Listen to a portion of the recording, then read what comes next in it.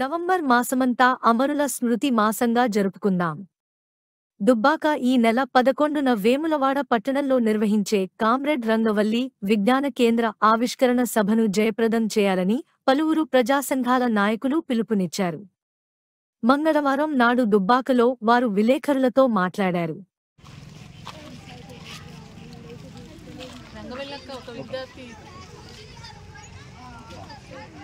యొక్క ఒక విద్యార్థి దేశం నుండి ఒక మహిళా సంఘాల నుండి ఒక రైతుకుల సంఘాల నుండి అట్లా అంచెలంచెలుగా భూమి భుక్తి విముక్తి కోసము పోరాటాలలో అనేక సమస్యల మీద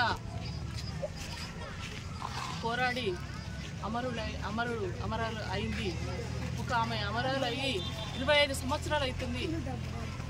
ఆమె పేరు మీద గ్రంథాలయము వెమ్లవాడలో పదకొండో తారీఖు నాడు పదకొండో నెల పదకొండో తారీఖు నాడు ఆడ గ్రంథాలయం వెమ్లవాడలో దాని ఆవిష్కరణ అవుతుంది దానికి పెద్ద ఎత్తున ప్రజలు తల్లి రావాలని మా బంధుమిత్రుల కమిటీ తరఫున విజ్ఞప్తి చేస్తున్నాను.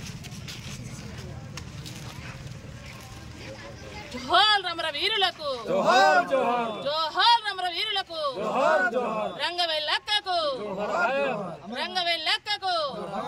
రంగవెల్లక్కకు. అమర హే రంగవల్లక్క అమర హే రంగవల్లక్క.